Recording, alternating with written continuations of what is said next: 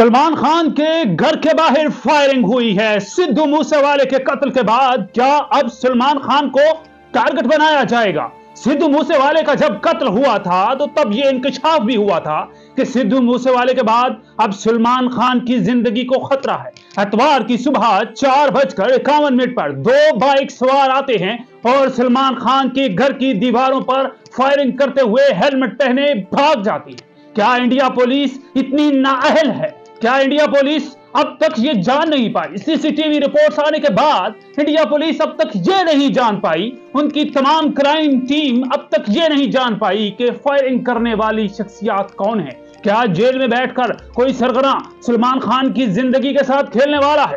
اتنا قیمتی ہیرو پاکستان اور انڈیا اور بلکہ پوری دنیا میں مقبولیت حاصل کرنے والے ہیرو کی گھر کی دیواروں پر اگر فائرنگ ہو سکتی ہے تو کیا پھر؟ انڈیا میں سلمان خان اپنی زندگی کو محفوظ پا رہے ہیں۔ انڈیا پولیس اتنی نائل ہے، انڈیا پولیس اتنی نائل ہے کہ اب تک وہ دونوں بائک سوار نہیں ڈھونڈ پائی۔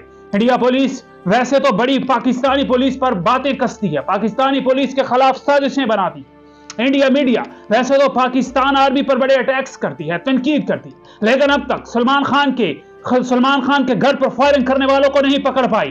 کیا انڈیا پولیس اب ان فائرنگ کرنے والوں کو پکڑ پائے گی۔ سدھو موسے والا کے بعد اتنا بڑا سٹار جو قتل ہو گیا، اب سلمان خان بھی جو ہے وہ نشانے پر آ چکا ہے۔ کیا انڈیا پولیس اب ان دونوں فائرنگ کرنے والوں کو پکڑ پائے گی؟ میڈیا تو بڑی باتیں کرتا ہے انڈیا میڈیا۔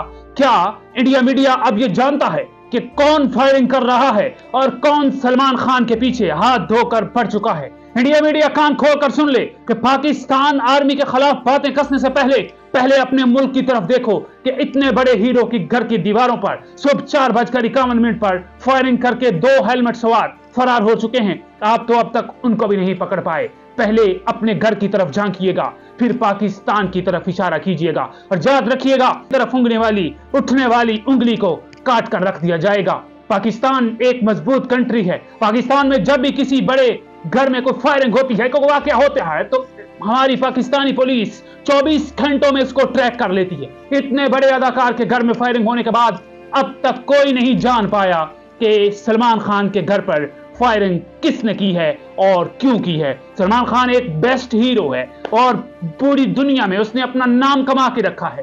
پیسہ ہے، دولت ہے، مال ہے، گھمڑ نہیں ہے اس شخص میں۔ لیکن اس مسلمان ہیرو کے گھر میں فائرنگ کیوں ہوئی ہے؟ انڈیا پولیس اب تک نہیں جان پائی۔ شکریہ۔